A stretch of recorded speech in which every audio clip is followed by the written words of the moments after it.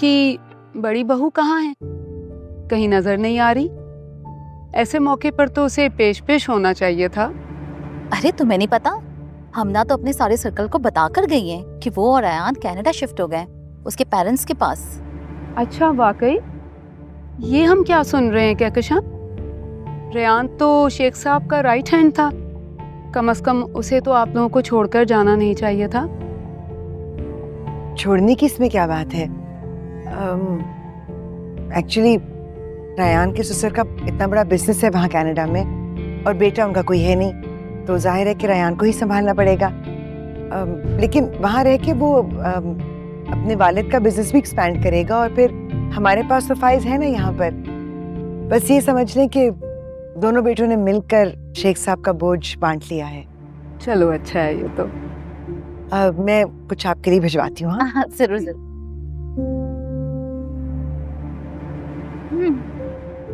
सब झूठ। टोटल पर्दापोशी। बहुत अच्छे तरीके से जानती हूँ मैं इन्हें इनकी दोनों बहुओं से बिल्कुल भी नहीं बनी। अच्छा। एक बहू को तो इन्होंने खुद ही घर से निकाल दिया। और दूसरी वाली इन्हें ठहंगा दिखाकर इन्हीं के बेटे को लेकर चलती बनी। भाई जैसी करनी वैसी भरनी। सही कह रही हो।